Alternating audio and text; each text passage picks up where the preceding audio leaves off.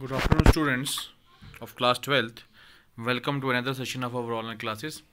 हम पढ़ रहे हैं द टाइगर किंग और हम आज फिफ्थ पार्ट इसका स्टार्ट करेंगे इससे पहले ये हो चुका है कि जो टाइगर किंग है उसके प्रतिबंधपुरम जो रियासत है उसमें शेर जो हैं वो ख़त्म हो चुके हैं क्योंकि ज़्यादातर वो मार चुका है ठीक है और अ, मतलब लगभग तीस चालीस या इतने ही उसने मारे थे कि शेर की तादाद, शेरों की तादाद जो है वो प्रतिबंधपुरम में खत्म, कम होगी, बिल्कुल ज़ीरो होगी।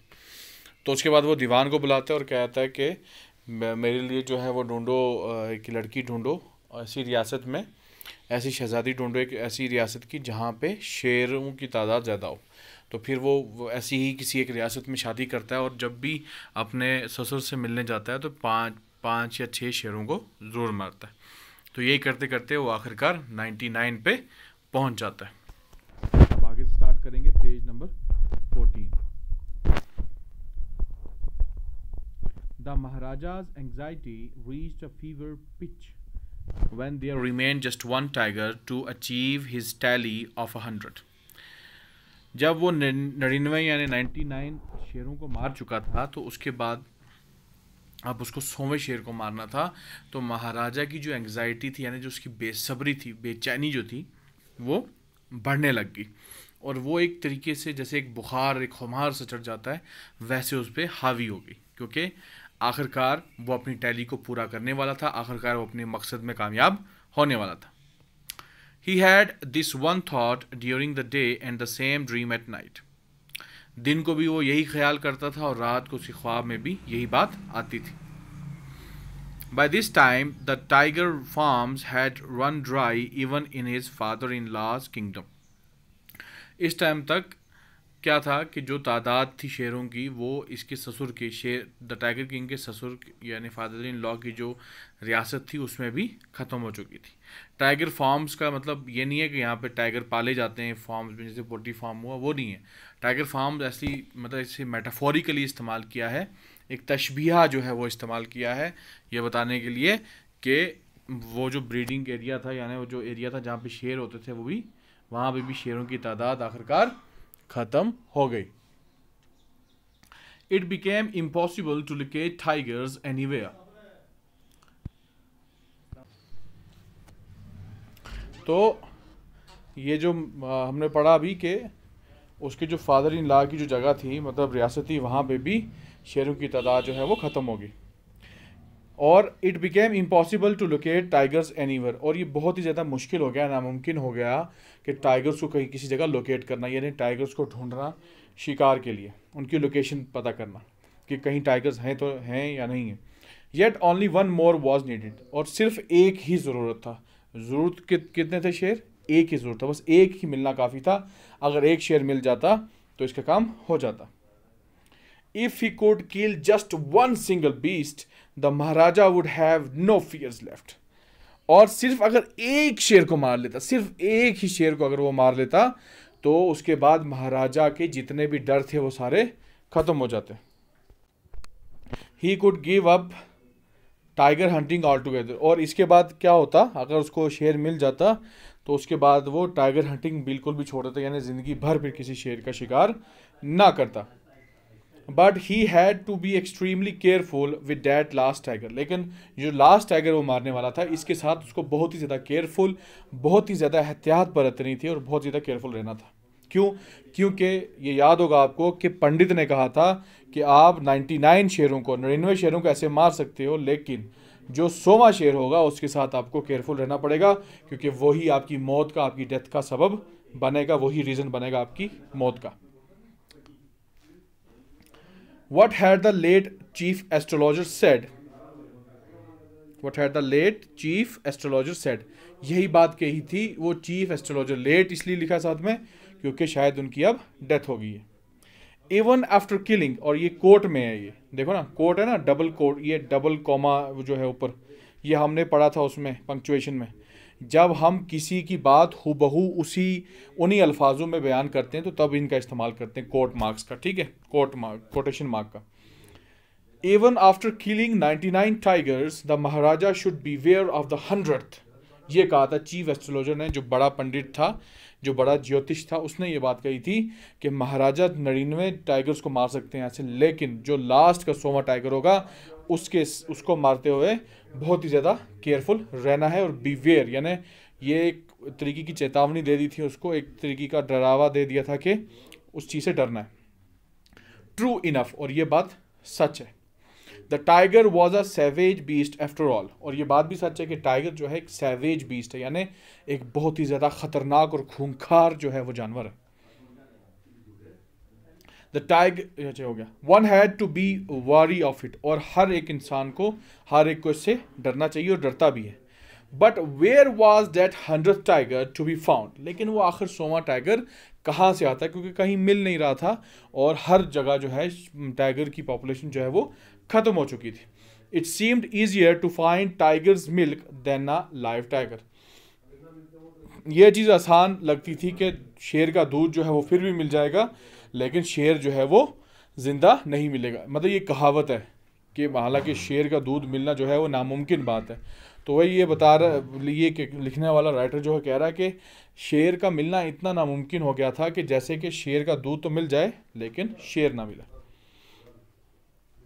Thus the maharaja was sunk in gloom उस ये देख के ये देखने के बाद ये सब आ, होने के बाद जो है वो महाराजा जो है ग्लूम में चला गया मायूस हो गया दुखी हो गया। डूब गया दुख में। In his own but soon soon came the happy news which dispel that gloom लेकिन जल्दी ही एक ऐसी खुशखबरी आई जिससे ये दुख, जिससे ये मायूसी उसकी हट गई।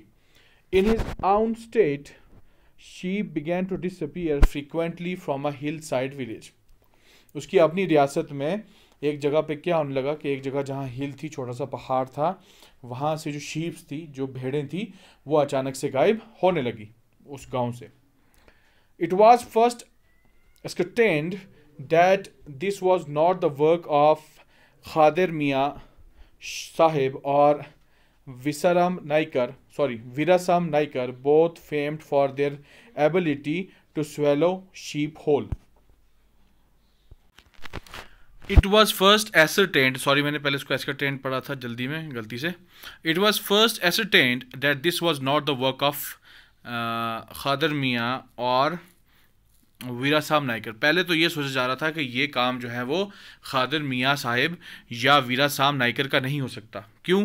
क्योंकि both famed for their ability to swallow sheep whole वो दोनों जो है इस बात के लिए मशहूर थे कि पूरी पूरी भेड़ें जो हैं वो निकल जाते थे। Surely a tiger was at work और इसीलिए सबको लगता था कि कोई ना कोई शेर जो है वो इस काम में लगा हुआ है और बेड़ों को खा रहा है। द विलेजर जैन टू इन्फॉर्म द महाराजा ये खबर लेके जो गाँव वाले थे, वो महाराजा की तरफ़ गए, दौड़े।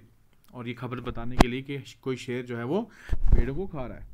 The maharaja announced a three year exemption from all taxes for the village and set out on the hunt at once ये खबर सुनते ही खुशी में महाराजा ने ऐलान कर दिया अनाउंस कर दिया उस गाँव के लिए, उस विलेज के लिए तीन साल की टैक्स एग्जाम्पन यानी अब तीन साल तक उनको कोई भी टैक्स जो है वो नहीं देना था रियासत को।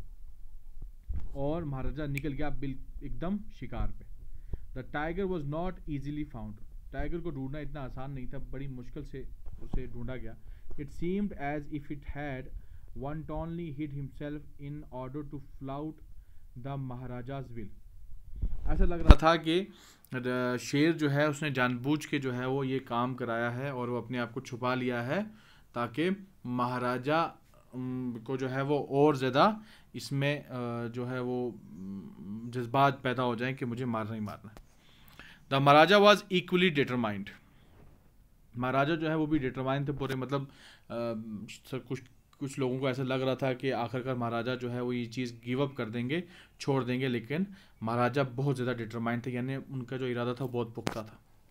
He refuse to leave the forest until the tiger was found उसने इनकार कर दिया उस जंगल को छोड़ने से जब तक कि शेर ना मिल जाए। As the days pass the maharaja's fury and obstinacy mounted alarmingly many officers lost their jobs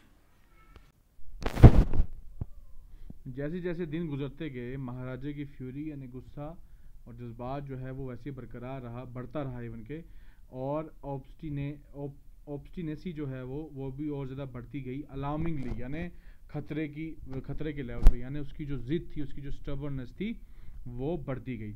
Many officers lost their jobs और बहुत सारे अफसरान जो हैं ऑफिसर्स जो थे, उन्होंने अपनी नौकरी गंवा दी। One day, when his rage was at its height, the Maharaja called the Diwan and ordered him to double the land tax forthwith. एक दिन जब महाराजा को जो है बहुत ज़्यादा गुस्सा आया उसका जो गुस्सा था वो बहुत ही ज़्यादा आसमान पे था। यानी आसमान को छू रहा था मतलब इतना गुस्सा था। महाराजा ने दीवान को बुलाया और उससे कहा और उसको आर्डर आर्डर किया उसको हुक्म दिया कि ज़मीन का टैक्स जो है इस ज़मीन का टैक्स जो है वो डबल कर दो अभी से। The people will become discontented, then our state too will fall a prey to the Indian National Congress.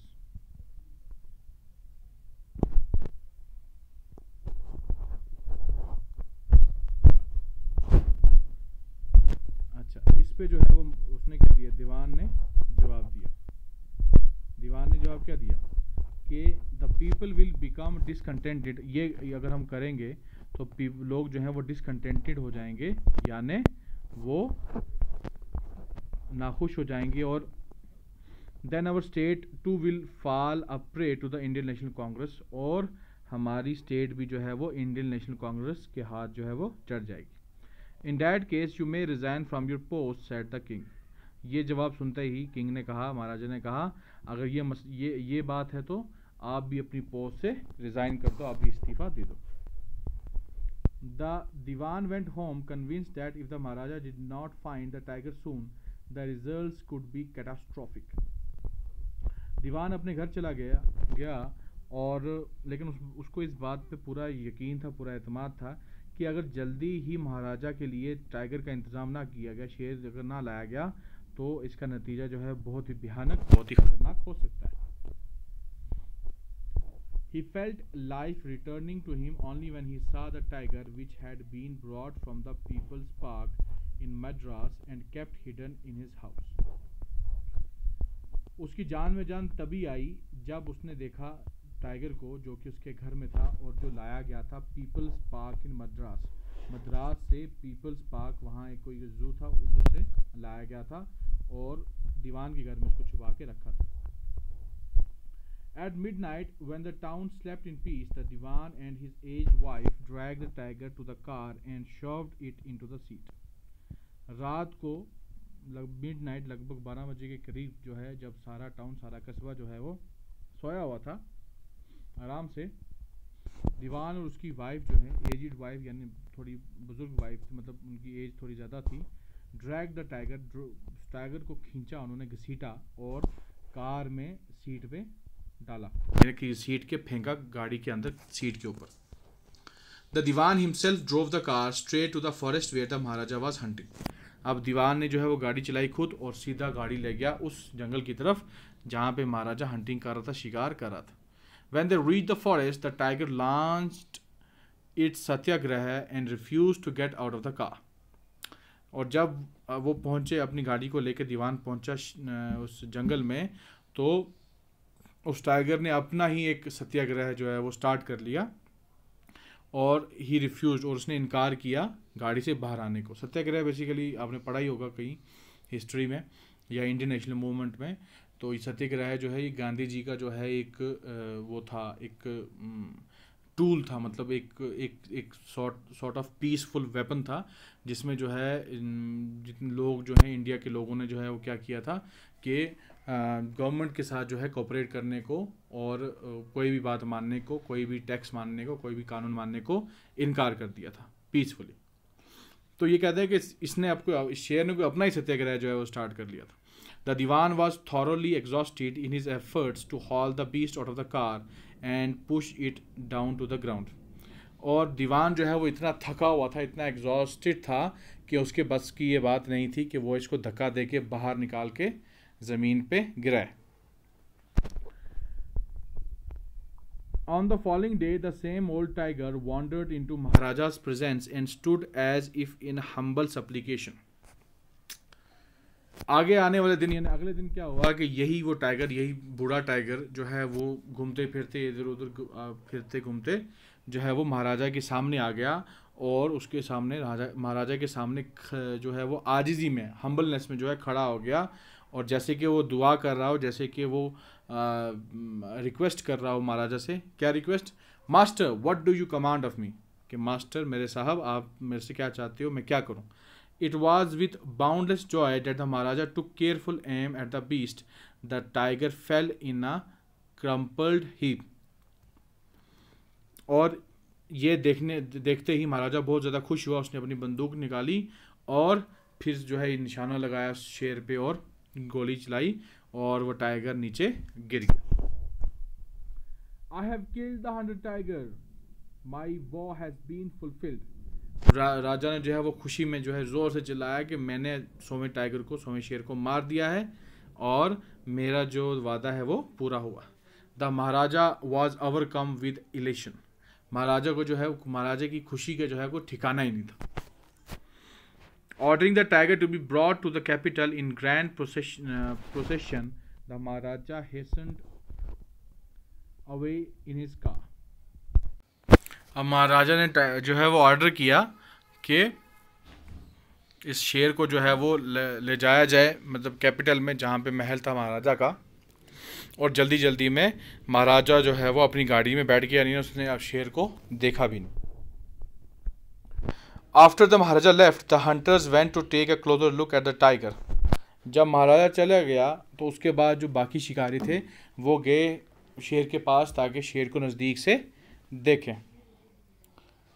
The tiger looked back at them rolling its eyes in bafflement और tiger जो है जो ही शिकारी उसके पास पहुँचे तो टाइगर जो है वो उनकी तरफ़ मुड़ के देखने लग गया, अपनी आँखें फिरा के। बैफल बैफलमेंट में, यानी उसको खुद ही कुछ समझ नहीं आ रही थी, कुछ कन्फ्यूज़ सा हो गया था टाइगर वो। The man realise the tiger was not dead उन शिकारियों को पता चल गया, उनको ये एहसास हुआ कि टाइगर जो है वो मरा नहीं है। The bullet had missed it और बुलेट जो है वो मिस हो गई, यानी उसको नहीं लगी। It had fainted from the shock of the bullet whizzing past और ये बेसिकली हुआ क्या कि जब उसने गोली चलाई और वो जब गोली उससे, उसको छू के गई तो उसके डर से, उसके शौक से वो फेंट हो गया ये शेर। The hunters wondered what sorry the hunters wondered what they should do अब शिकारी ने सोचा कि उनको क्या करना चाहिए। They decided that the Maharaja must not come to know that he had missed his target उन्होंने ये डिसाइड किया, ये फैसला किया कि महाराजा को नहीं पता चलना चाहिए कि वो अपना निशाना चूक गए। If he did they could lose their jobs और अगर उसको पता चल गया महाराजा को तो इनकी नौकरी चली जाएगी शिकारियों की, इनकी खुद की। One of the hunters took aim from a distance of one foot and shot the tiger उनमें से एक शिकारी ने एक फुट पीछे आके वहाँ से निशाना लगाया शेर के ऊपर और शेर को शूट कर दिया। This time he killed it without missing his mark और इस टाइम जो है वो, शेर जो है वो मर गया, गोली उसको लग गई। ठीक है? तो आज तक, आज का हम यहीं तक रखते हैं। लास्ट हम करेंगे इन कल और फिर इसके क्वेश्चंस भी करेंगे। आज के लिए इतना ही। अल्लाह हाफिज़।